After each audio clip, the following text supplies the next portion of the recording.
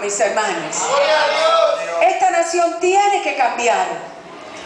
Porque esta nación le pertenece a Dios. Dios la creó. Y nosotros somos un pueblo, un pueblo que por, por, por generaciones hemos sido un pueblo de buena gente. Pero vino el diablo y se metió con la droga y con, con el dinero y con la avaricia y con todas esas cosas. Y puso cizaña en la buena tierra que éramos los dominicanos y que somos todavía. Gloria a Jesús. Gloria a Dios.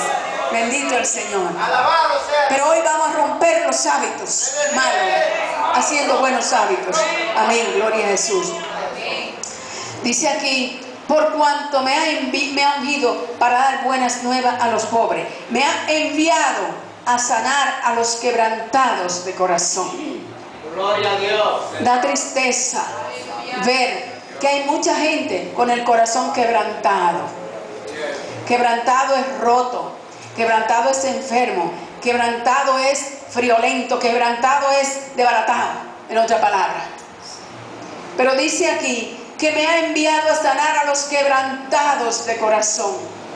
Y yo me pongo a imaginarme, el otro día yo estaba durmiendo en el ciruelillo y de repente oigo como seis disparos ahí cerquita del patio de la casa donde yo estaba. Y me, asusté, o sea, me sorprendí, me despertaron esos disparos. Y a los minutos oigo que están pidiendo auxilio, pidiendo auxilio, auxilio, auxilio, llame al 911, no me dejen morir, estoy herido. Yo dije, Dios mío, Dios mío, y comienzo a llamar al 911 y sonaba ocupado y era el sereno que lo habían herido para llevarle la escopeta. Dígame usted si esos hábitos que hay aquí no tienen que ser rotos. ¿Quiénes somos los que vamos a romper los malos hábitos? Es el pueblo de Dios que tiene, gloria a Jesús. El pueblo de Dios tiene que ponerse la armadura de Dios. Porque nosotros tenemos este poderoso Espíritu Santo que Dios nos ha dado para hacer cosas aún mayores que las que hizo Cristo son las que nosotros vamos a hacer, dijo el Señor. Son cosas grandes las que vamos a hacer por nuestro pueblo, para ganar las almas para Cristo. Mis hermanos, y yo veo que aquí hay gente, y me he encontrado con pastores que dicen que ya no se puede hacer nada. Pero sabe que esos pastores necesitan que nosotros también oremos por ellos. Porque no importa la mucha delincuencia que hagan. Gloria a Dios. Sea la delincuencia y el mal que haya afuera. La palabra primera que leímos dice que no, no seamos vencidos por el mal, sino que más bien venzamos con el bien el mal. Amén. ¿Y cuál es el bien? Cristo Jesús, su palabra, su espíritu, la oración, el ayuno, la alabanza, porque Dios no es mentiroso. Si Dios dice que nosotros en ayuno y oración podemos romper los hábitos del robo, de los abusos, de los secuestros, de, de, de los asesinatos, de las violaciones, algo grande tiene que pasar en nuestra nación cuando hay un pueblo que se humilla a Dios, que ora, que clama, que cree, que gime ante la presencia de Dios. Aleluya. Si quieren saber si es real y poderoso lo que yo le acabo de decir, que nosotros tenemos el poder en nuestras manos. Tenemos el poder en nuestras manos, mis hermanos. Así es. Tenemos la espada del Espíritu.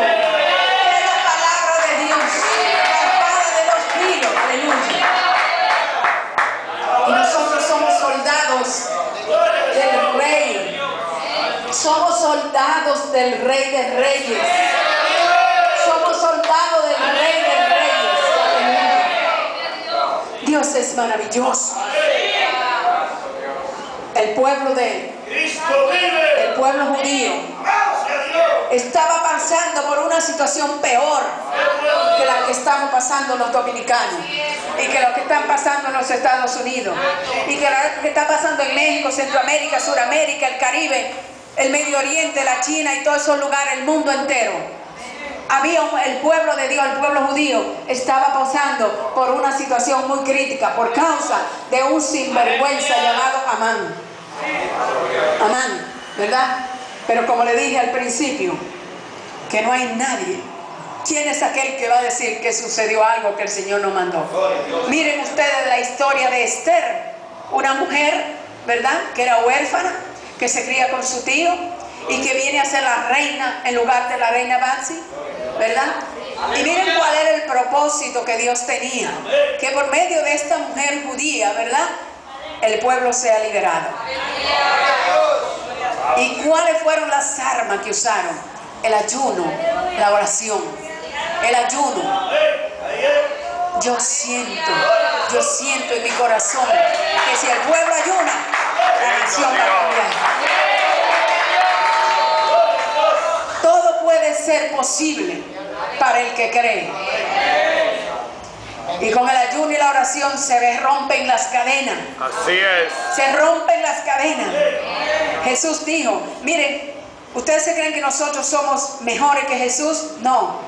¿Somos más fuertes que Jesús? No. ¿Somos más poderosos que Jesús? No. Él es el Todopoderoso. Pero sin embargo, Jesús oró. Jesús ayunó. Jesús se preparó. Y Jesús manda que nosotros oremos, ayunemos y nos preparemos, porque hay géneros de demonios que no salen sino con oración y ayuno. Amén. Amén. Ay, santo, yo siento la presencia de Dios. Yo siento la presencia de Dios. Yo siento que el Espíritu de Dios se está moviendo en este lugar. Aleluya. Dios está buscando hombres, mujeres, niños, guerreros. Oh, gloria a Dios. Guerreros. Que crean. Que le crean a Dios. Que a pagar el precio para libertar a esos cautivos de Satanás que andan afuera con malos hábitos. Buenos hábitos es venir a la iglesia. Buenos hábitos es orar. Buenos hábitos es leer la palabra y llevarla a nuestros corazones. Y tenerla almacenada ahí para que en el momento dado en que te venga el dardo del enemigo, en que te venga el ataque, la tentación, en que te venga el peligro, ahí mismo tú dispares con la palabra de Dios. Amén. Amén. Alabado sea Dios. Pero mis hermanos, dice aquí a pregonar libertad a los cautivos. Jesucristo vino a predicar, a pregonar libertad a los cautivos. Estar cautivo no significa solamente estar metido en una celda. Estar cautivo no significa solamente ser un secuestrado, ¿verdad? Estar cautivo también es estar cautiva del pecado, estar cautivo de la angustia, estar cautivo de la baja estima que el diablo te ha puesto en tu mente de que tú no vales nada, de que tú no eres nadie, de que tú eres un miserable. No, eso es mentira del diablo. Y nosotros tenemos que aprender a usar lo bueno para vencer lo malo.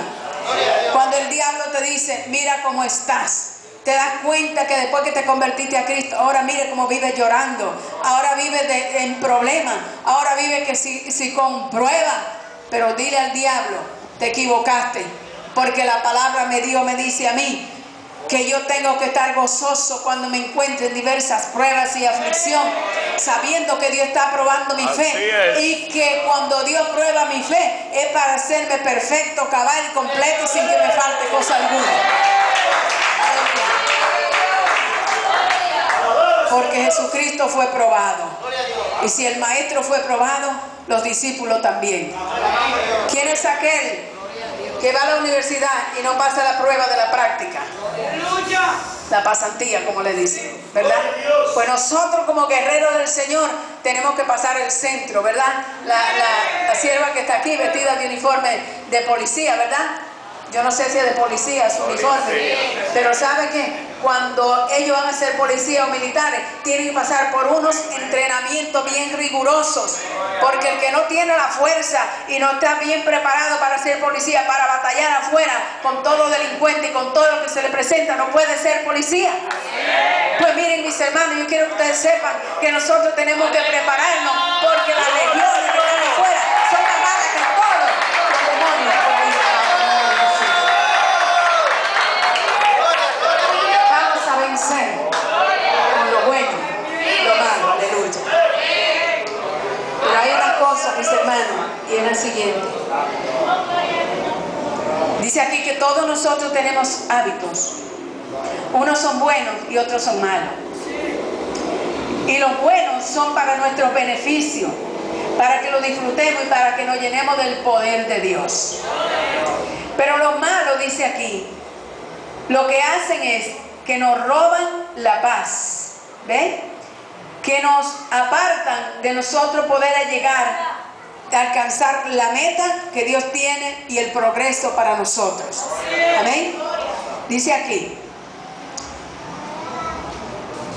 es nuestra manera de comportarnos muchas veces, un patrón que adquirimos con mucha frecuencia por medio de la repetición.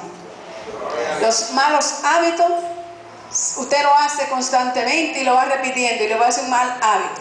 Nos levantamos, vamos al baño, nos vamos a la cocina, hacemos el cafecito, de ahí viene que nos vamos a peinar, o oh, déjame sacar las habichuelas para ponerle en agua, oh, tengo que hacer esta cosa, tengo mi fulana, y cuando viene a ver, no oramos. Un mal hábito. Un mal hábito. Jesús dijo que oremos en todo tiempo. Amén. Lo primero que nosotros tenemos que hacer, mis hermanos, cuando nos despertamos, es comenzar desde la cama a meditar, a orar, a glorificar a Dios, a clamar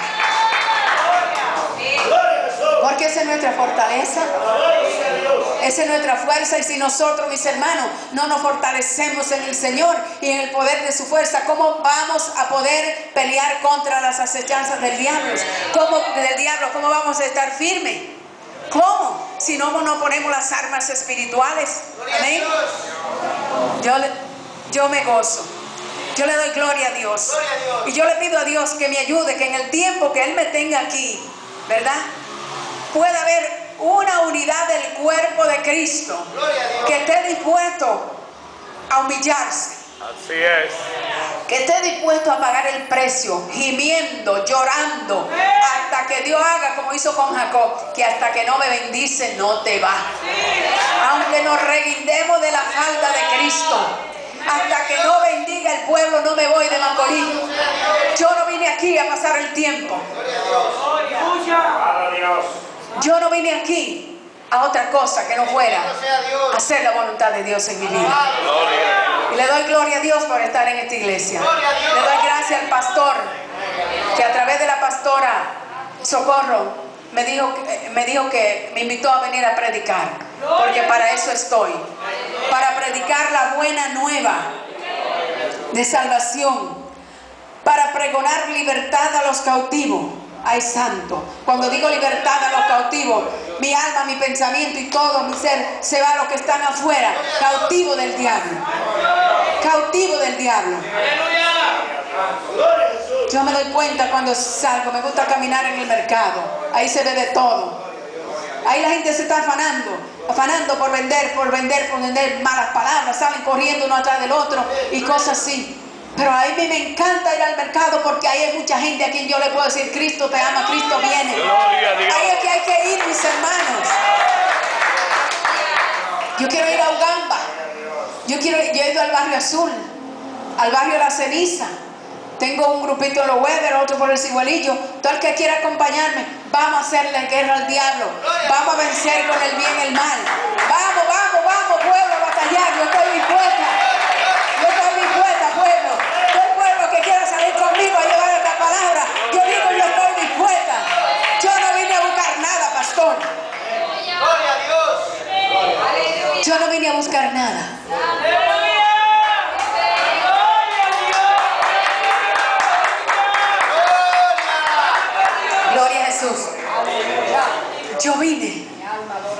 Que Dios use este vaso. Gloria a Dios. Yo vine porque tengo demasiado que dar. Yo tengo un almacén en mi corazón. Un almacén de palabra de Dios. Yo me puedo ir a predicar dejando el libro de la palabra de Dios en mi casa.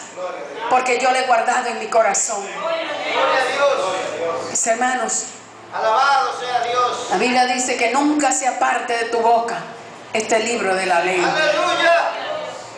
Sino que de día y de noche meditarás en él para que guardes y haga conforme a todo, a todo, a todo, diga a todo, lo que en él está Porque entonces hará prosperar tu camino y todo te saldrá bien. ¿Qué está pasando si no estamos prosperando en nuestro caminar con Cristo? ¿Qué está pasando si todo no nos está yendo bien? Que tenemos que vencer el mal con el bien. Y la palabra de Dios es el bien por excelencia, porque Cristo mismo, aleluya, gloria a Dios. El pueblo tiene que humillarse. El tiempo está llegando. Yo quiero que sepan una cosa, mis hermanos, que nosotros estamos mirando, yo no sé, aquí casi no se ven noticias del extranjero, la gente aquí no prende la tele ni pone, pero lo que está pasando desde Roma a Siria, Egipto, Israel, eh, ¿cómo se llama el otro que pelea con Israel? Irán, eh, Irán, Irán. Egipto, eh, Arabia. No, no, el que pelea, que está dividido de. Jerusalén, Palestina. Palestina. Todo eso, todo lo que estamos mirando nos dice a nosotros que el Señor está a la vuelta de la esquina. Cristo está al levantar su iglesia. Oigan una cosa lo que dice la palabra de Dios. La Biblia dice que será predicado este evangelio a todas las naciones para testimonio a ellas, ¿verdad? Entonces vendrá el fin. Y el evangelio se está predicando a todas las naciones, pero no se crean mis hermanos que todas las naciones van a aceptar a Cristo. El rapto de la iglesia viene pronto. El mundo va a quedar en un caos. El mundo va a quedar en la tribulación. El mundo va a quedar bajo el dominio del anticristo, de un gobierno absoluto. Pero la iglesia se va, mis hermanos. Por eso la es. iglesia tiene que comenzar a santificarse más. La iglesia tiene que purificarse más, orar más, ayunar más y buscar el rostro de Dios y romper todos esos malos hábitos. Hay muchos malos hábitos en la iglesia. Se murmura, se quejan, disensiones. Entonces, cuando nosotros hacemos esas cosas, mis hermanos, son malos hábitos. Tenemos que cambiar eso por los buenos hábitos, ¿verdad? La Biblia dice que si tu hermano peca, ¿verdad? ¿Qué es lo que dice? Restaura, ayúdalo. Pero yo me estoy dando cuenta que las iglesias, cuando alguien falla, lo que están es martillándolo, ¿verdad? Y no puede ser. Como iglesia tenemos que ir con amor, ¿verdad? A restaurar. Acuérdese que cuando una persona se pone débil, tropieza y muchas veces cae, hay que levantarlo. Acuérdese que no es él, que es el enemigo que le ha puesto una trampa. Y nosotros como hermanos, ese es nuestro deber de nosotros con el bien vencer el mal. Amén. Y cuando el pueblo se una en ese amor, en ese bien, en ese querer hacer lo bueno, ¿verdad? Dios se va a alegrar. Las cosas tienen que cambiar. Algo grande va a pasar. Aleluya. Gloria a Dios. Porque el Señor está aquí. ¿O cuántos creen que Él está aquí? Amén. Dice, a pregonar libertad a los cautivos y vista a los ciegos. Hay dos clases de ciegos. Hay los ciegos espirituales, los ciegos físicos, pero hay ciegos espirituales que aunque, aunque han conocido el Evangelio, se han dejado poner ceguera. Entonces, mis hermanos, démonos cuenta que si es uno de los hábitos que nosotros tenemos, que sabiendo la verdad y sabiendo hacer el bien y no lo hacemos, nos es pecado. La Biblia lo dice clarito, el que sabe hacer lo bueno y no lo hace, ¿qué le es? Le es pecado. Y como iglesia, ¿estamos nosotros haciendo el bien? Si no estamos haciendo las cosas bien, nos es pecado. Pero aquí no estamos para juzgar a nadie. Aquí estamos para nosotros de prendernos los malos hábitos haciendo los buenos hábitos. ¿Verdad que sí? Gloria a Dios. ¿Y de qué manera? Los buenos hábitos pueden ser desarrollados y los malos hábitos pueden ser rotos con la repetición. Buen hábito es que usted diga, voy a orar todos los días desde que me despierto en mi cama. Gloria a Dios. Desde que está en su cama y abrió los ojos, comience a alabar a Dios. Comience a declarar la palabra. Comience a cubrir sus hijos con la sangre de Cristo. Comience a hacer la guerra al diablo. Comience desde es. que se levanta, desde que está en la cama. Despierta, lo primero es Dios. Te para, Dios. sigue con Dios. Te va al baño, sigue con Dios. No le dé lugar a lo malo. Vence con el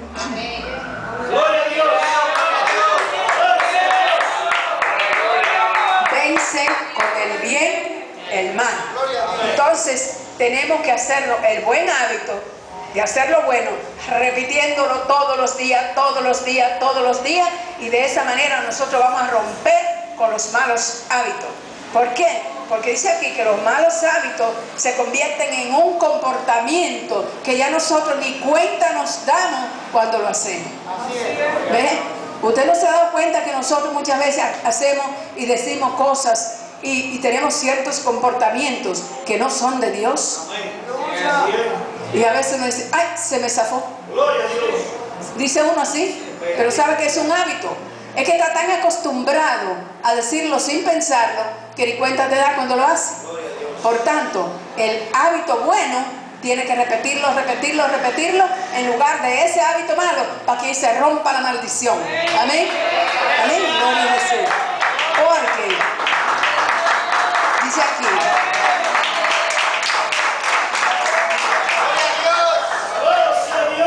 Bendito sea el Señor. Una cosa muy importante que le voy a decir, esto está buenísimo. Esto está buenísimo porque dice aquí que uno puede hacer una lista de los hábitos malos que uno tiene. Y aquí la escritora Joyce Meyer de este libro dice, pone alguno, dice el, la adicción al celular. Ese es uno de los malos hábitos. Así es. La adicción a los teléfonos celulares. Ese es un hábito tan malo que se está trayendo a la iglesia. Usted se imagina cómo Jesucristo se siente. Porque Él ha dicho, de cierto, de cierto os digo, que donde quiera que se reúnan dos o tres en mi nombre, ahí estoy yo en medio de ellos. Y yo estoy segura que cuando esta iglesia se reúne, aquí hay una cantidad buena de personas, ¿verdad? Bastante, vamos a decir, para lo que a veces es un culto regular así. Entonces, cuando nosotros, aquí hay más de dos, ¿y quién de nosotros puede negar o puede dudar que el Señor está aquí? El Señor está aquí. Ahora, mi pregunta es para la iglesia. ¿Qué le significa a ustedes y a nosotros que Jesucristo esté en medio de nosotros? ¿Cómo se siente usted y cómo me debo sentir yo con la presencia del Hijo de Dios en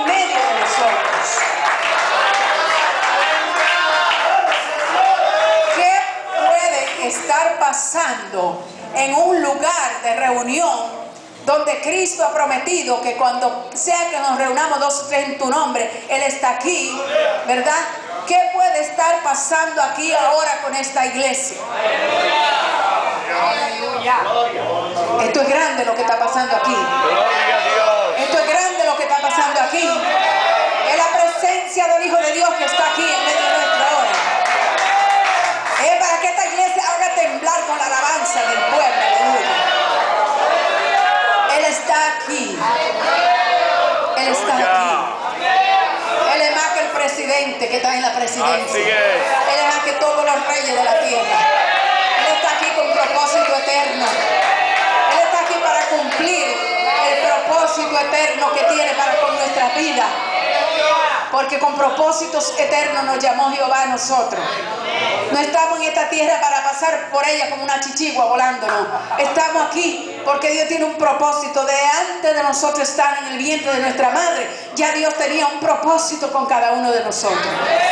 Me acuerdo de Brunildo cuando era en su trabajo secular. Se acuerda de mí cuando mi trabajo secular también, ¿verdad?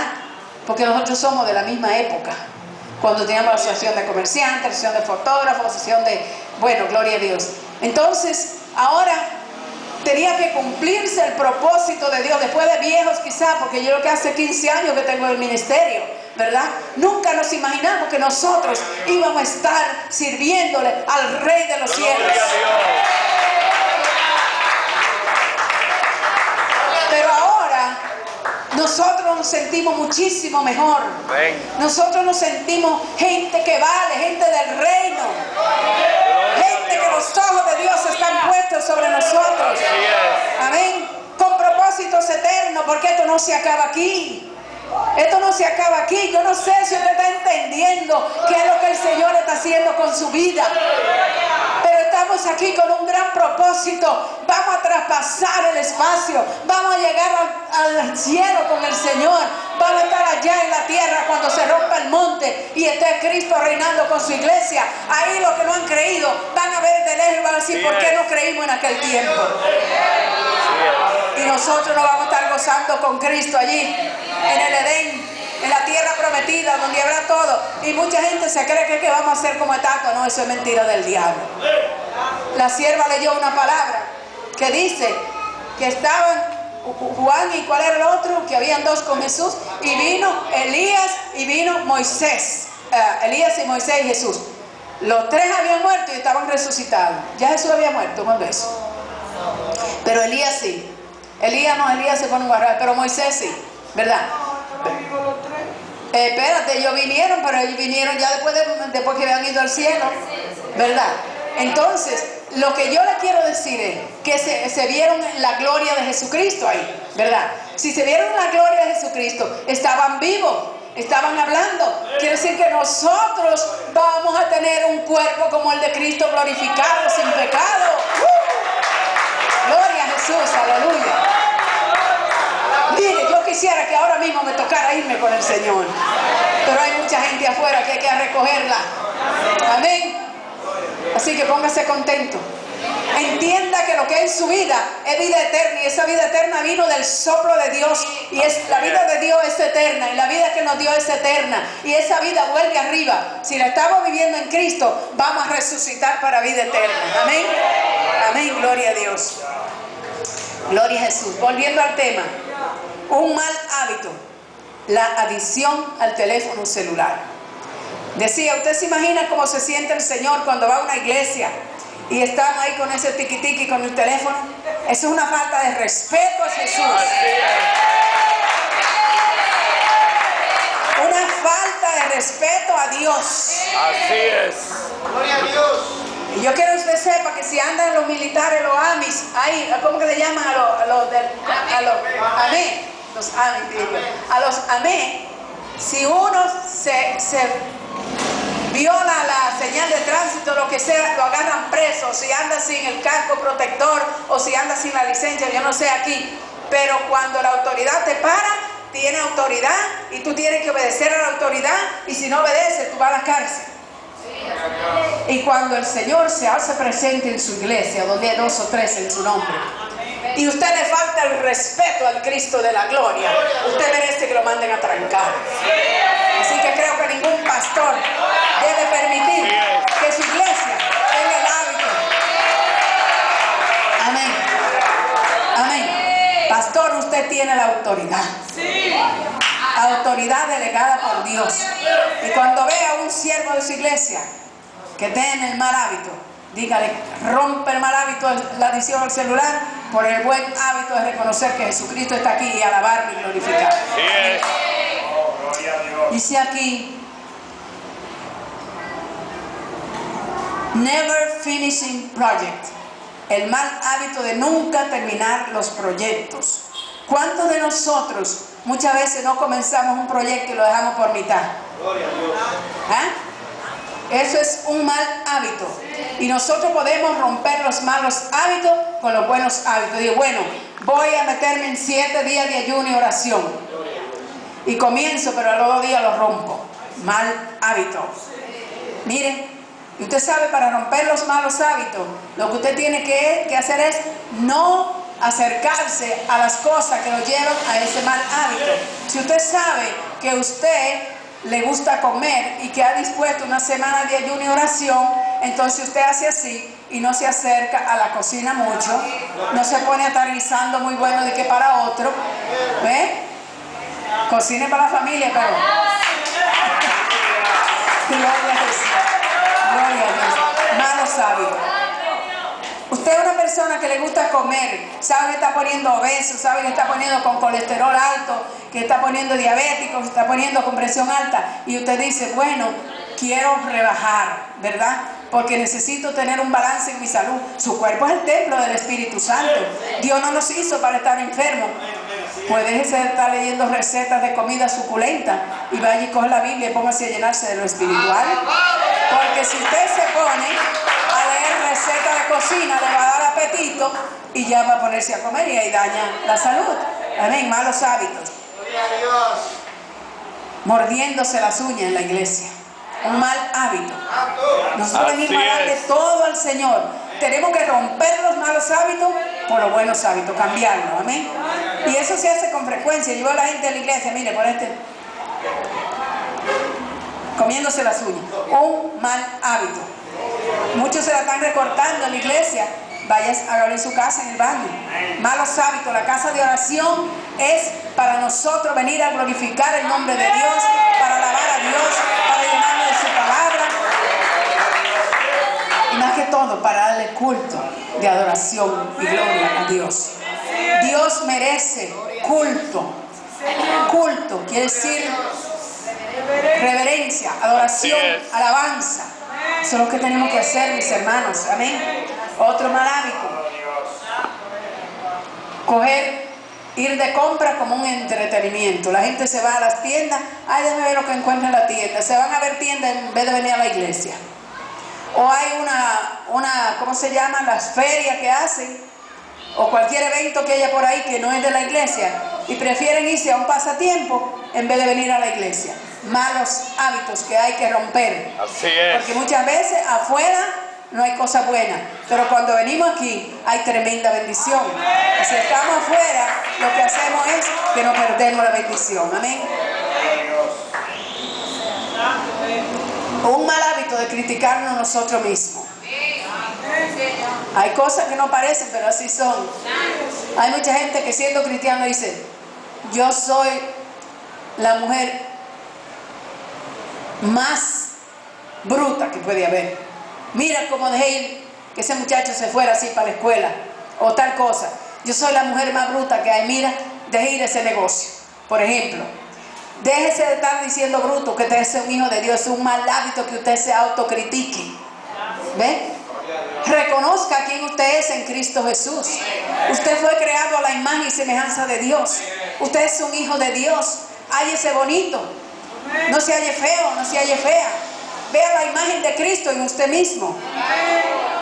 Mire que ahora mismo la gente se halla tan feo que se está quitando parte de aquí, parte de aquí, parte de aquí, parte de aquí. Y están haciendo la obra de Dios mal hecha.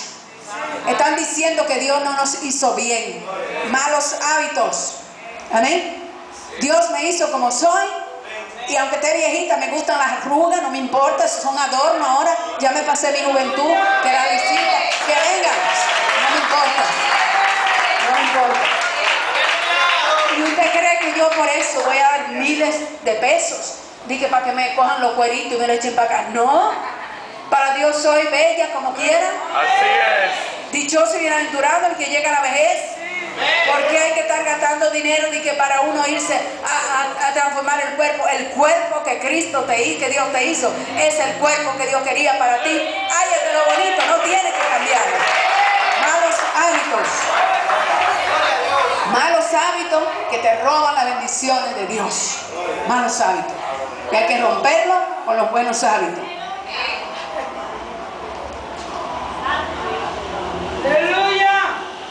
Aquí hay uno que dice, driving too fast, manejando muy rápido, malos hábitos.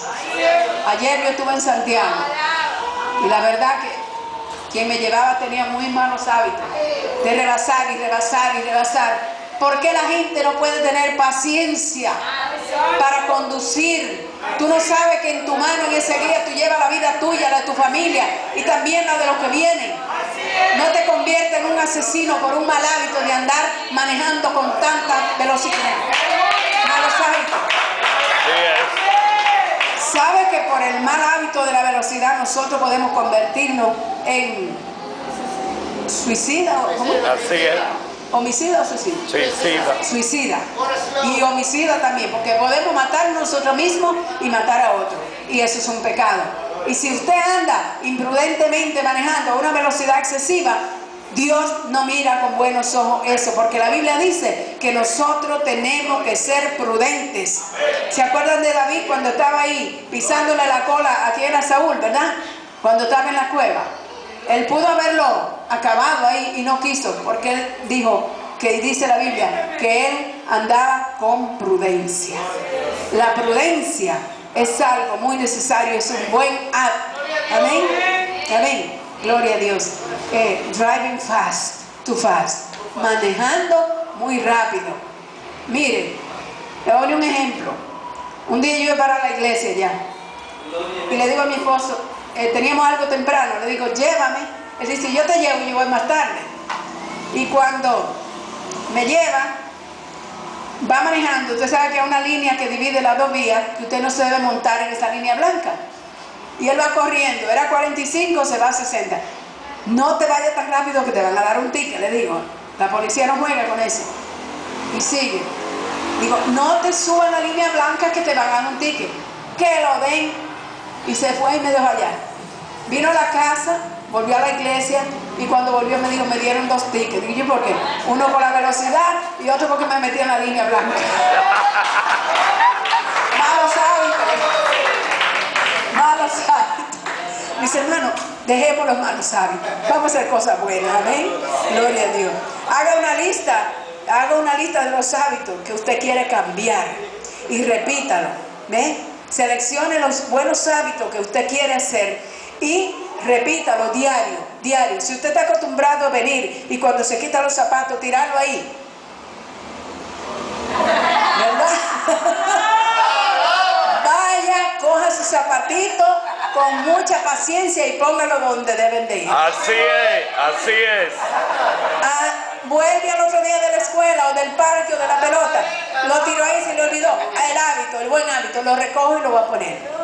Porque nuestra casa tiene que estar en orden. Así es. Usted fregó, lave el plato, buen hábito.